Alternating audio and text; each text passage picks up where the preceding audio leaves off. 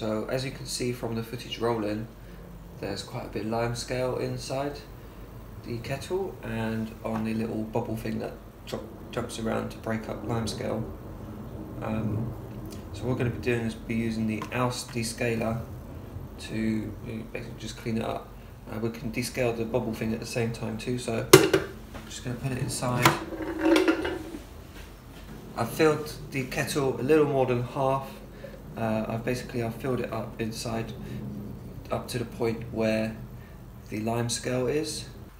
What I'm going to do is I'm going to put the descaler in now, let it warm up with the descaler, uh, that way I can keep control of it. Uh, I find that keeping the water in the descaler hot makes it react quicker and makes it clean or descale better basically.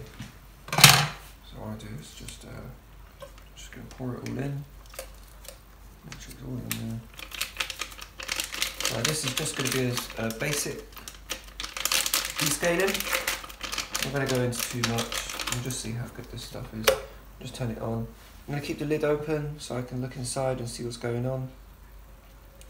Uh, and you'll be able to see it all bubbling up here as well. So now it's getting louder, bubbling up a lot more, you can see it's starting to boil now. And before it boils up, quite a lot of bubbles.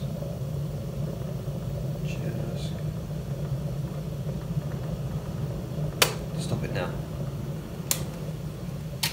I'm just going to close the lid. Uh, one of the tricks I do the inside of the kettle here is just to tip it forward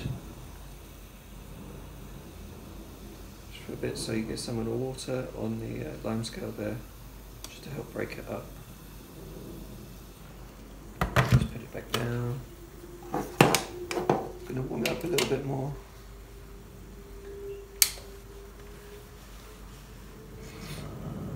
You see it's right on the edge there. Yeah, you see. Yeah. We'll stop it. Uh, and we're going to leave it for about 15 minutes and we'll come back and see how good it is, if it's good at all. Okay, so we're back. Uh, been about 15 minutes. I'm just going to open up, have a look inside and see where we're at.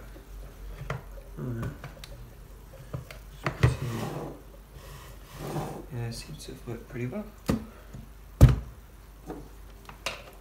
I'm going to put it back on, get it nice and hot, give it a quick final blast, and then I'll just rinse it out and we'll see. We'll see how good it did. This is pretty good. Just let it do the front there a bit. Okay, so I'm going to rinse it out now, and then uh, we'll take a look inside and see how, how well it's worked. Okay, so I've rinsed the inside out, and you can um, you can kind of see it didn't really work so well on the ball ball. That's because a lot of lime scale attaches to it.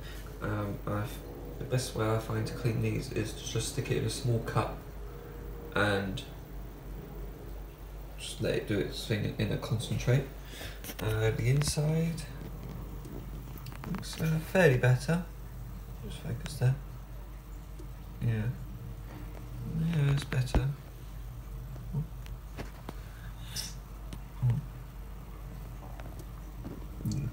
So you can see still a bit of a, a line, but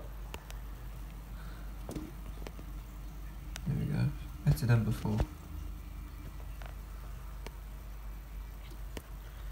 Personally, I like to use the liquid when uh, descaling uh, because then you can, well, a bottle of, li- of, of descaler because then you can put as much as you like in and you can really concentrate or just do a light one.